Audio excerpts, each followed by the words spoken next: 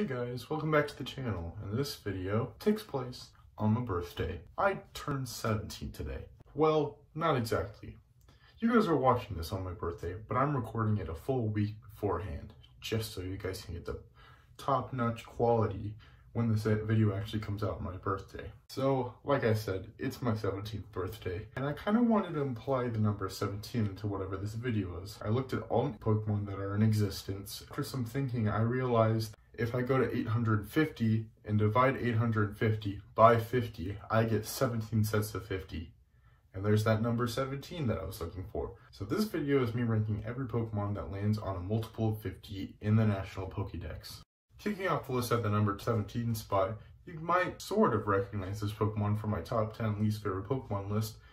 It's a pre-evolution of the number 2 spot on my list, and that Pokemon was Electrode. Voltorb so happens to land at number 100 in the National Pokédex, which means that I had to put it on this list. Therefore, Electrode is my second least favorite Pokemon of all time. I put this all the way at the bottom at number 17. Later down on the list, you'll see that only two of these Pokemon I had no trouble putting on their spots in the list because, well, they're terrible Pokemon, so I put them straight at the bottom. But the other ones, I kind of had to have reasons for why I put them in certain spots that I put them in, but Voltorb goes at the very bottom because I hate Electrode as a Pokemon. And since Voltorb evolves in Electrode, and they're both basically the same Pokemon, Electrode's just stronger because it's the evolution, I had to put Voltorb at the bottom at number 17 out of 17.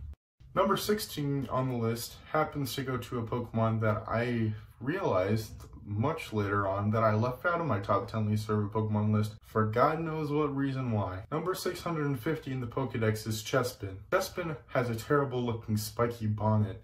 I know it's supposed to represent the quills on the animal that Chespin is based off of. It still looks super weird. Chespin's evolutions also could have had a lot of work done on them, especially Quilladin, who just looks like the odd one out in the evolutionary line. Honestly, the whole Chespin line was a miss for Game Freak, and I think that much better design was needed for Chespin and its evolutionary line. The next spot on the list is where it started becoming tough, where I was going to place Pokemon. Well, certain Pokemon, but we'll get to that later on the list. Number 15 has to go to number 400 in the Pokedex, Bibarel. Bibarel is the Raticate of Generation 4, basically. Since it's a Pokemon that's often used in Gen 4 as an HM slave. I had to put it lower on the list because that's all I've ever used it for. Other Pokemon I put on this list are higher than Bibarel because I've had an emotional tie to them, while Bibarel has just been an HM slave to me, and many others for a long time. I'm not saying that Bibarel is a terrible Pokemon, but Bidoof is basically a nearly useless Pokemon, and I've never seen anybody actually say, hey, I have a Bibarel on my competitive VGC team.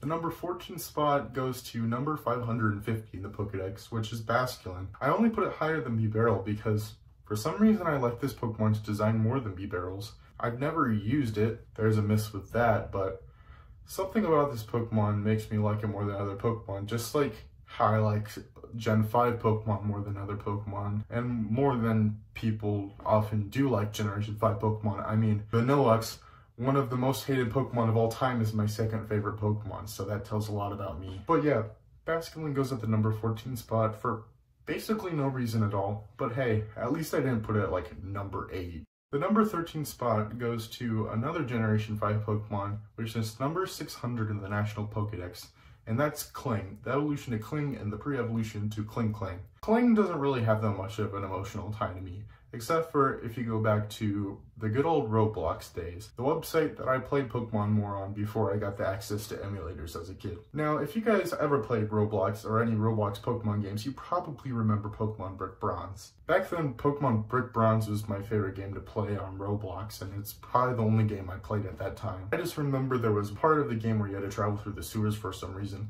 and they had Klinks down there. And for some reason, I added one for my team. For what reason? So technically I have used a Kling in a game before, and therefore it has an emotional tie, but it's not an official Pokemon game, and uh, actually it was taken down by request of the Pokemon Company because it was too similar to an actual Pokemon game, but no. But I put it at number 13 because while it does have an emotional tie, it's not an illegitimate Pokemon game, but still, number 13 out of 17. We've still got a ways to go, guys. The number 12 spot goes to number 450 in the National Pokedex, which is Hippowdon. I've tried to use Hippopotas and Hippowdon, multiple times of playthroughs, but for some reason they either got knocked off my team for some decision I made later on the game, or they got murdered, like the one that was on my team in the Platinum Randomizer Nuzlocke. But other than that, Hippowdon only has a small place in my heart because well, a lot of the Gen 4 Pokemon are really good design Pokemon, and I guess you can say I have an attachment to Hippowdon because of the way it's designed, but not much other than that. Number 11 goes to number 200 in the Pokedex, which is Misdreavus. Now, Misdreavus only happens to be higher on the spot because Pokemon Gold and Silver used to be my favorite games of all time. And during one of those playthroughs, back in the good old days before Misdreavus could evolve into Mismagius, there was just Misdreavus, of course. And Misdreavus ended up on my team during one of these playthroughs, and I actually grew an emotional attachment because it carried my team through many, many gyms, including Morty's gym, which was the ghost type gym. And, you know, that's kind of like the only emotional attachment I have to it. Mismagius is a really cool Pokemon, but I've never used it, so Misdreavus is higher than the other Pokemon that I talked about before on the list. Just because for the first time, this is a Pokemon I've used before in a legitimate Pokemon game. The number 10 spot goes to the first multiple of 50, which is Diglett. Now, Diglett has an emotional attachment for me in many ways. When I was a kid, way before I even got to play my first Pokemon game, I got into Pokemon with the original anime.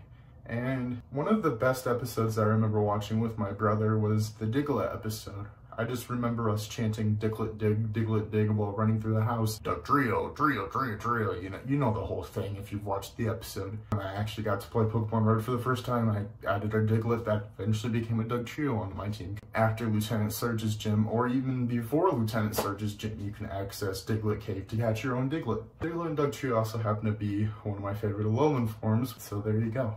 Number 9 goes to number 750 in the National Pokedex, which is Mudsdale. Now, Mudsdale has only been used by me for one playthrough, and that was when I decided to play Pokemon Sun using Pokemon that only gained their existence in Generation 7. This was no Alolan forms, no pre-existing Pokemon prior to Sun and Moon.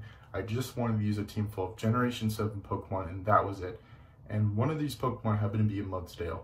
I never actually finished that playthrough and I think I hard reset it on it and played it for some other kind of playthrough. Mudsdale has a sort of attachment to me for that sort of reason, but I also uh, have always admired its design. Force Pokemon are cool in general. Mudsdale goes high on the list, but not too high on the list.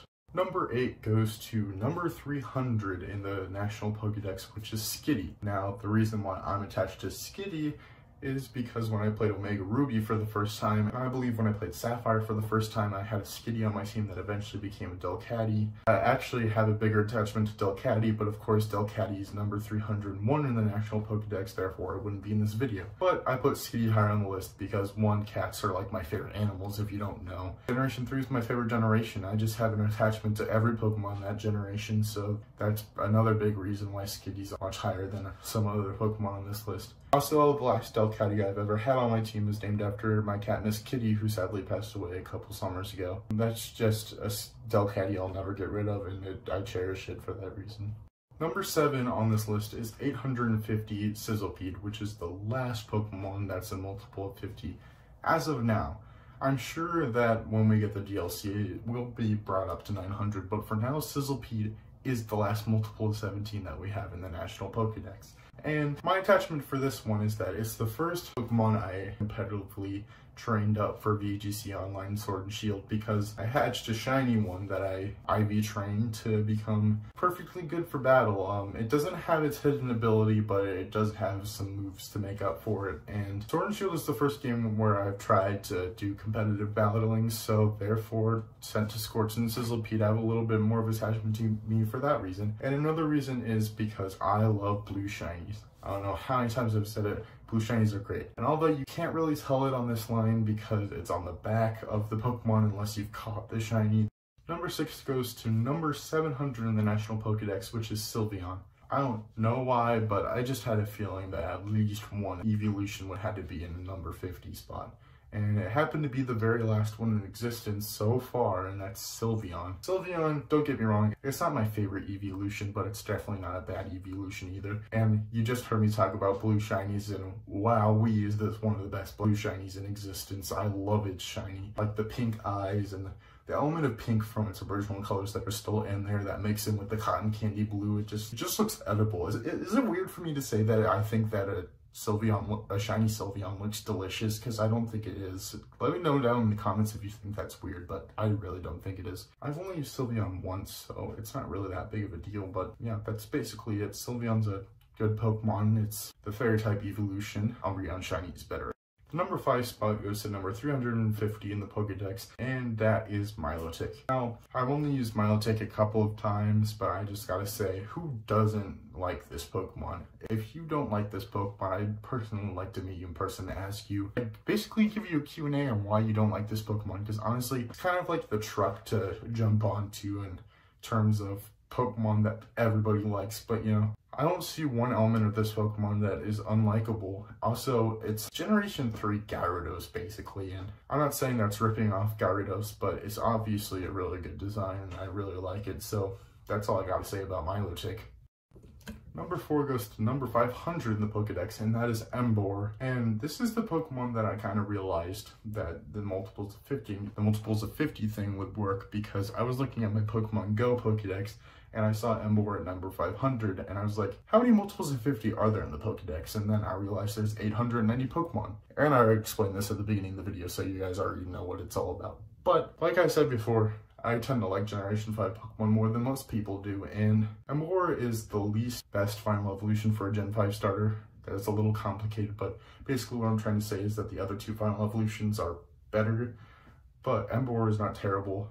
I also like it more than other some final evolutions of starters, but that's why it's higher on the list, but not at the top. Let's get on to the next one.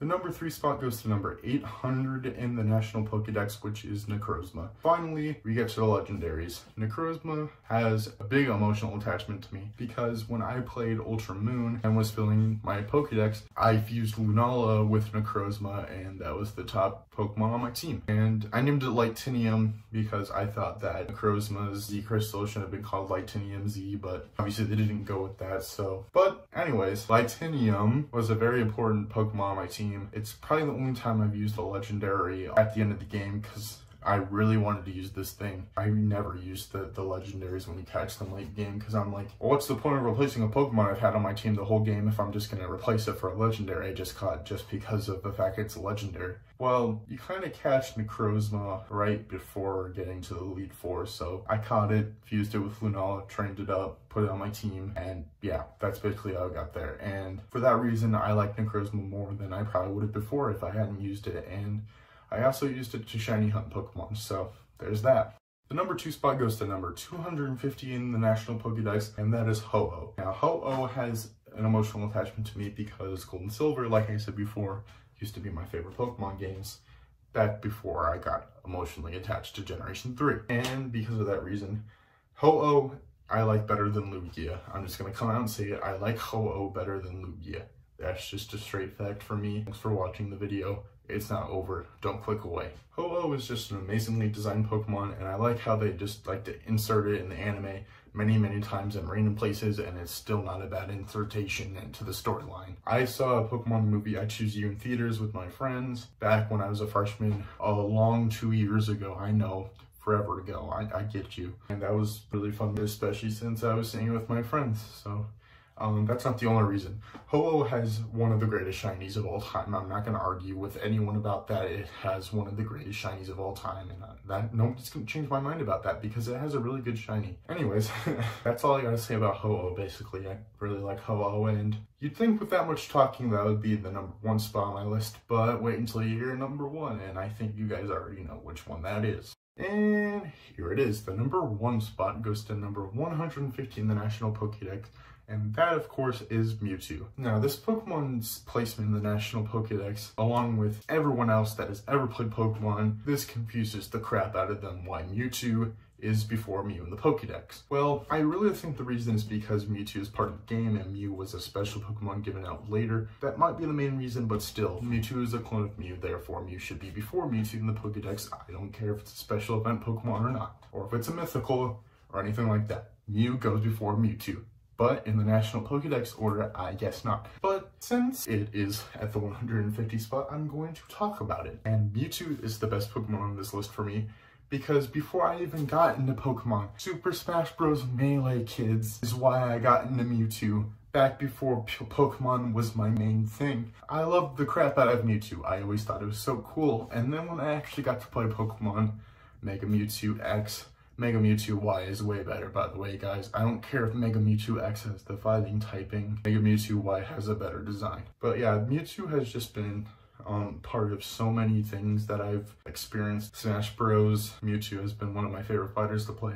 as in any game that Mewtwo's in. Pokemon X, I had a Mewtwo on my team later on in the game. Mewtwo ended up on my team when I played um, Let's Go Pikachu, which like I said before, I usually don't have the Legendary on my team when I battle the Elite Four, but the Elite Four was over when you catch Mewtwo, and I only battled the Elite Four many times with Mewtwo to grind up on that money because you have to have money if you want the shinies and Let's Go because that throwing mechanic sucks and I hope they never bring it back because it was terrible.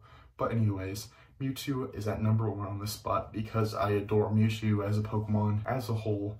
Mewtwo is just a great Pokemon. The way I'm talking about it, you might think it's my favorite Pokemon of all time, but if you're new to the channel and you want to see what my top 10 favorite Pokemon of all time is, Mewtwo's not even on it, sadly. But that's because I like more Pokemon than legendaries. Not a single legendary is on that list. So I will put it up in the cards if you guys want to see my top 10 favorite Pokemon of all time. That is going to do it for this video. If you did enjoy this video, leave a like.